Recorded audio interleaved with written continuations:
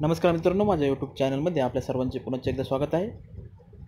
राज्यातील अशासकीय महाविद्यालयातील शिक्षकेतर कर कर्मचारी तसेच अधिकाऱ्यांना सातव्या वेतन आयोग लागू करण्याबाबतचा हा दिनांक सात सप्टेंबर दोन हजार एकोणीस म्हणजेच आजचाच उच्च व तंत्र शिक्षण विभागाचा शासन निर्णय आहे. तो संपूर्ण शासन निर्णय बघूया आपण. महाराष्ट्र सार्वजनिक विद्यापीठ अधिनियम दोन हजार सोळामधील तरतुदी व मान्य न्यायालयांनी वेळोवेळी वेगवेगळ्या याचिकांमध्ये वेळोवेळी दिलेल्या आदेशानुसार विद्यार्थ्यांना योग्य व दर्जेदार शिक्षण देणे हे विद्यापीठ व संलग्नित महाविद्यालयांचे आद्य कर्तव्य असून त्याकरिता आवश्यक ती उप सर्व उपाययोजना करण्याची जबाबदारी या संस्थांची आहे.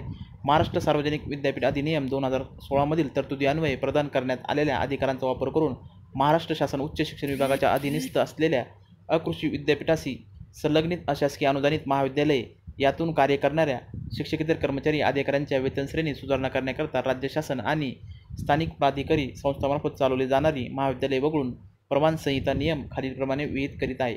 संक्षिप्त नाव आणि प्रारंभ. या नियमांना महाराष्ट्र कृ अकृषी विद्यापीठाशी संलग्नित अशासकीय अनुदानित महाविद्यालये प्रमाणसंहिता शिक्षकेतर कर्मचाऱ्यांचे सुधारित वेतन नियम दोन हजार एकोणावीस असे संबोधण्यात यावे. ते दिनांक एक जानेवारी दोन हजार सोळापासून अंमलात आले आहेत असे मानण्यात येईल.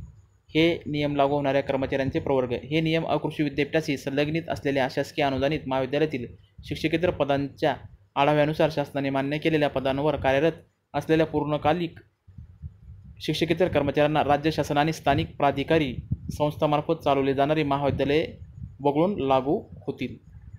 तर मित्रांनो हा आजचा शासन निर्णय आहे. राज्यातील अशासकीय अनुदानित महाविद्यालयातील शिक्षकेतर तसेच अधिकारी कर्मचारी यांच्यासाठी सातवेतन आयोग लागू करण्याबाबतचा हा शासन निर्णय आहे. हा संपूर्ण शासन निर्णय संकेतस्थळावर उपलब्ध आहे.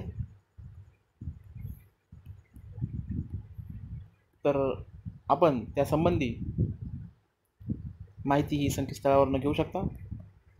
आपल्याला हा व्हिडिओ आवडला असेल व्हिडिओ लाईक करा शेअर करा चॅनल सबस्क्राईब करा. धन्यवाद मित्रांनो. पुन्हा भेटूया एका नवीन व्हिडिओतून नवीन माहितीसोबत. तोपर्यंत धन्यवाद.